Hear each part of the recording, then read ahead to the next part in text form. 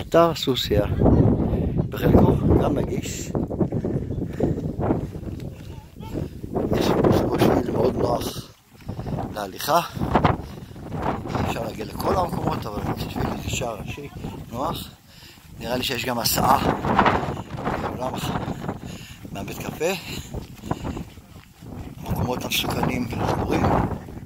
זה האמפי. יש בו כמה אלפי אנשים.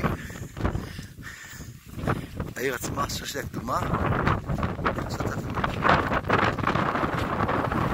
זה גבול הנגישות, אבל יכולים להגיע פה למערות, למנהרות ולמחילות.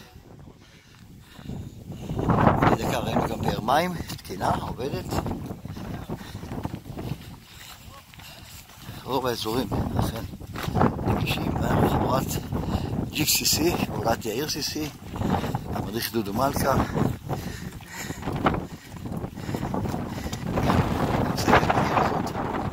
זה הדרך למופע האור קולי, גם נגישה. דרך הרבים. אז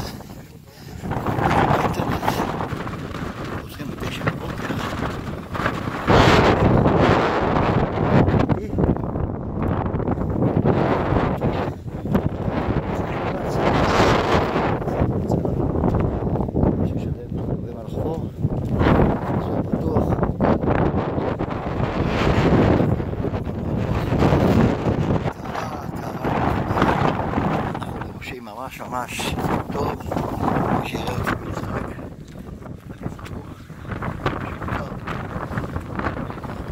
כמו שאתם רואים, כל המסלול נגיש, מונגש.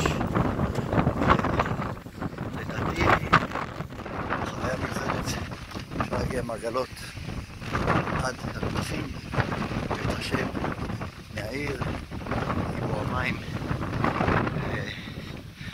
את השלט האחרון שמופיע פה. סוסיה הקדומה, בתי חומה, שביל מסומן. אז יש פה עוד קבר אחד אבן גולל, גם הוא נגיש, עשה לידו את שבט הנוח, זה מערת הגבורה, בוריאל, כן. אז תראו פה, ליאור נבו, גיפור נעים.